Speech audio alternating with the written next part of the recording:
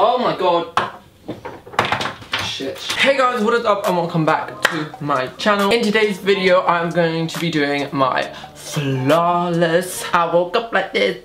I woke up like this. I think I just pulled a muscle. My flawless foundation routine. Basically, it's just gonna be my base routine. Honestly, for the past like month, I've just been using the same products every day. So it's kind of like a my favorite base product slash flawless foundation routine. That is a mouthful and This is kind of like picture perfect makeup. Like it is gonna look like good. It's not gonna give you flashback. If you guys, ooh. If you guys are new to my channel, click that subscribe button down below and press the bell button so you don't miss any of my videos. Give this video a thumbs up if you enjoy it and let's get on into it. So the first thing you want to do, whether you have dry skin or not, is make sure that your face is moisturized and prepped. Obviously, I've already done my skincare, like I've moisturized, I've exfoliated. I did that this morning when I got out of the shower because I'm clean. But to prep my skin before primer. This is kind of a hydrating primer. It is the Urban Decay Hot Springs Hydrating Gel and I just take a dollop, ooh that looks gross, smack it on my face and rub it in. and it's really lightweight, completely just like dissolves into your skin. Make sure your skin is like hydrated for foundation because otherwise you're gonna be looking a little cakey. You're gonna be looking like a little muffin out the oven.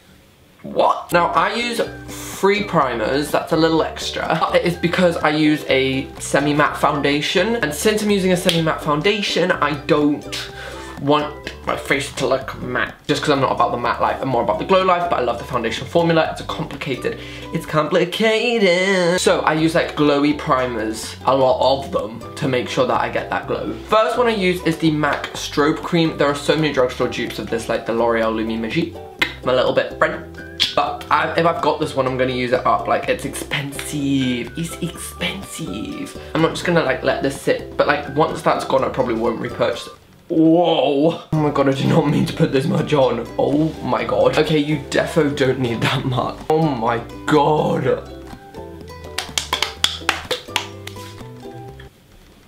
Ow! The next product I use is the Farsali Rose Gold Elixir. This step's kind of optional, but I just love the way that this makes my skin feel. There are probably loads of drugstore oils as well. I just put three little drops on my face and rub it in. And this just makes your foundation apply on top of it so smoothly. And then finally, a little spritz. Use any priming spray, dewy spray. This one is the Pixi Makeup Mixing, Mixing, Fixing Fist. Oh, fixing Fist. Fixing, you know what, let me just start again. Pixi Makeup Fixing Mist. I love the smell of this as well, it's like rose water. For foundation, of course, we're gonna use our Mother Fenty Beauty Foundation. This is picture perfect. I'm going to an event today, so this is why I'm doing a picture perfect base. The reason that I love this is because it doesn't give flashback. However, I am waiting, I'm waiting for Riri, for Robyn Fenty to come out with a foundation which is more glowy. For my everyday, day-to-day -day basis, I said day way too many times. I want to look glowy. But if there is one thing that I recommend from the Fenty collection, it is hands down the foundation. I literally change up the application of my foundation every time. Sometimes I'll use a beauty blender, sometimes I'll use a round top brush. Today I'm using a flat top brush and this is just one from Real Techniques. And I'm just stippling it in and it looks a bit light for me but it does oxidize a bit so it will go to my skin tone. Oh man, I've got a pea-sized forehead so this brush would literally take up the entire size of my forehead. So I just go in with a smaller brush for this. This one is again from Fenty Beauty, hashtag not spawn. But Rihanna, please sponsor me. I've not really found my like cult concealer yet. Oh my god, this shirt, so annoying. I'm like changing up my concealer all the time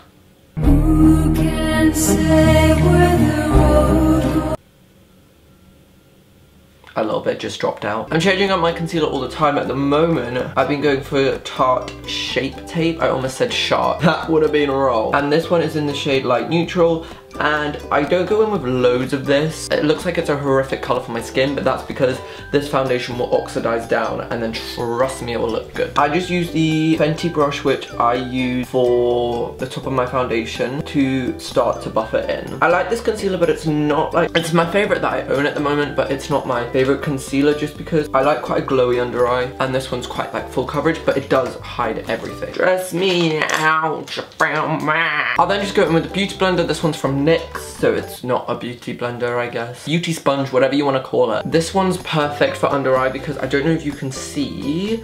I mean, it's dirty as fuck so please ignore that but it's like it got a slanted like ridge so it is perfect for getting in there it's hard to get to spots I feel like I'm like a cleaning advert you know on the TV where it's like bang and the dirt is gone easy for those hard to get to spots I don't know why I did that voice, I just feel like that's what like how people when they're on TV ads speak. I don't set my entire face just because I've got dry skin and it will like look a bit cakey. But I do set my under eyes just because I don't know. And I just used this Charlotte Tilbury powder, but the only reason I'm using this is because it was so expensive and like I'm not gonna let it go to waste. And I'm just taking a little bit on this Real Techniques contour brush and I'm just putting it, tapping it under my eye. I don't have time to bake. Like, does it look like I have time to bake? No, I've gotta, oh, come on, we gotta get out the door. Literally though, I'm always running late, so that's a rhyme. When you're running late, you don't have time to bake. For my bronzer, I this is my favorite bronzer. It is the Hoola Light Bronzer from Benefit. I used to use like the dark Hoola as my bronzer and honestly I don't know how. I find that this is actually my favorite brush to bronze with. This is the NYX 24 brush but because it's like it's quite like the opposite of dense. I don't know what that is. so it like spreads it out and it stops you from like look, going overboard with bronzer because I know that is so easy to do. And I will just take the bronzer up at my temples along her bronzing our face to give our face a little bit of warmth, you know, bring some sunshine to it because the foundation and like concealer made us look quite 2D. It's making us look a little bit more alive. This bronzer is literally stunning. 911, what's your emergency? I've lost my contour kit. I've been using this again recently. I used this about like a year ago and then I didn't use it for like a year. um, but it's the Anastasia contour kit. I'm actually this looks so trashy, but I'm missing a shade. I don't know where it's gone. But the shade I used to contour is this middle shade here. I'm pretty sure it is the shade Fawn. You can buy these shades singularly, I think. So you can buy them and stick them in a Z palette instead. And I use the Kat Von D Shade and Light palette. And I'm pretty sure this isn't a palette. Brush to start it off and to start to work it in. But because I don't like too harsh of a contour, I leave it like this. No, I'm joking. I go in with like a more of a bigger brush and start to buff it out because that way this is a clean brush so we've not got any excess product on it. Personally, I don't know. I'm not that good with contour so I find that by doing this, it makes it less, what's the word? What's the word that we're looking for? Hard to blend and less like muddy. And I just kind of leave it at that. It's just like a little bit of contour. For blush, I use this one from Marc Jacobs. But it is just because I love this peachy colour up at the top. Honestly though, just buy a peachy blush at the drugstore. I do really like the sleek Life's a Peach blush. And I take this on a Zoeva Luxe Sheer Cheek brush. Yeah.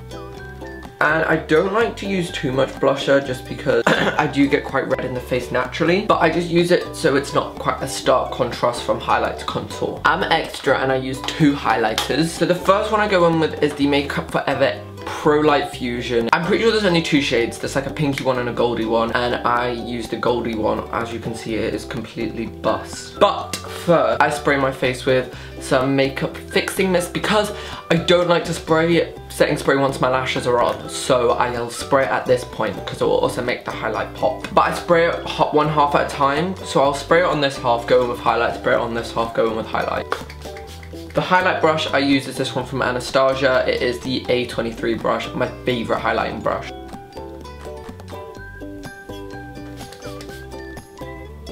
And then as you can see, that's quite a nice highlight. You can leave it there, but I'm extra. And I will go in with the Becca Jaclyn Hill highlighter.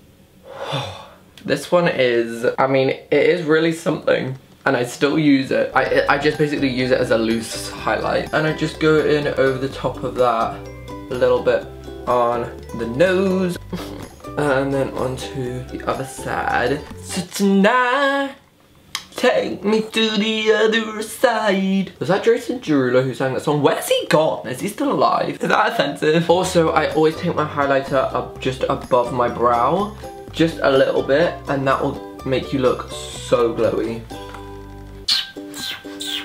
I'm actually going to show you guys how I do my folk, faux, folk. I tried to say folk and faux at the same time and it came off as folk. My folk freckles, that's a new nickname for them. Because a couple of you guys have been asking and I guess it's kind of to do with my base. I take my Benefit Precisely My Brow Pencil. I'll move in for this. Hey there. That was cringe. And first off, I'll just go around my nose. Just gonna tap it in. You can just follow, oh shit, I did not mean to do that there. So this is what my face looks like before and then you're done, jokes. I don't have any precise order, I literally just go in randomly, just freehand. But then I'll take a beauty blender and just dab on over the top of it. I do mine quite intense because I like people to notice them. But if you want a more subtle look, just don't go in maybe as heavy-handed with the brush and with the brush, with the brow pencil. And don't do as many, like I've done mine like in quite close proximity, just do yours a bit more spread out. And I mean, it is a real arm muscle workout because it takes so long to blend them in. I may sometimes take a little bit on the top of, onto my, onto my forehead as well, just to make it look a bit more natural. And that is the finish. Look. Can you even see them? For some reason my camera's really bad at picking them up. If you guys enjoyed this video, please give it, ooh. Please give it a big thumbs up. Click that red subscribe button down below. I know you want to. And I'll see you guys very soon for a brand new video. Bye!